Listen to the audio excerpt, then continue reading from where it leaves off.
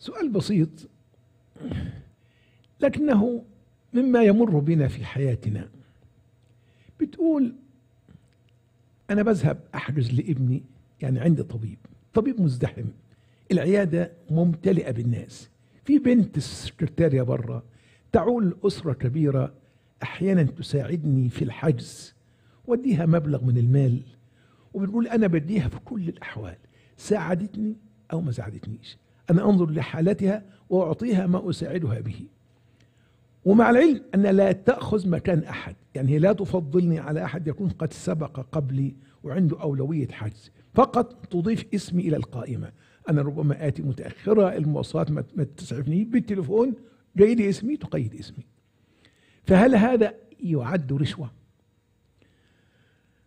إذا اقتصر عملها على مجرد إضافة اسمك إلى القائمة لم تأخذي مكان أحد ممن سبقك إلى الطبيب. وكنت تدفعين هذا المال بنية المساعدة لها وتدفعينه على كل حال سواء عليها أساعدتك في الحجز أم لم تساعدك فلا حرج إن شاء الله. لأن, لأن أصل الرشوة دفع المال من مبطل ليحصل على حق غيره. دفع المال من مبطل ليحصل على حق غيره. وأضاف إليها أهل العلم أيضا قالوا ودفع المال من محق ليحصل على حقه طب تيجي إزاي دي؟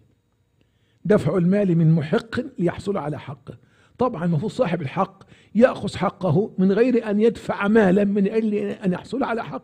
أنت ذهبت تحصل تستصدر ترخيص بناء من جهة ما. كل الشروط مستوفاة. من حقك تأخذ هذه الرخصة مباشرة. فإذا تعنت موظف وأبى أن يمنحك هذه الرخصة إلا بمبلغ من المال فهذا دفع دفع المال من محق وهو أنت لتحصل على حقك. كان ينبغي أن تحصل على هذا بغير دفع منك. فالذي منعك من هذا ظالم بمنعه.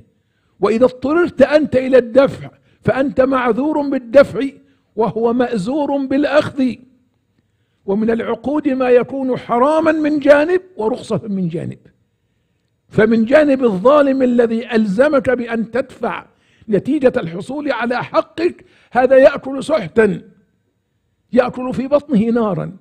أما أنت إذا كنت معذورا لا سبيل لك إلى قضاء مصالحك. و... وإنفاذ أمورك إلا إلا إلا من خلال هذا فأنت معذور إن شاء الله. يقولون من العقود ما يكون حراما من الجانبين أو حلالا من الجانبين أو حراما من جانب ورخصة من جانب. وموضوعك هذا يا بنيتي ليس من الإيه ليس من الرشوة في شيء. إن كان الأمر كما وصفت.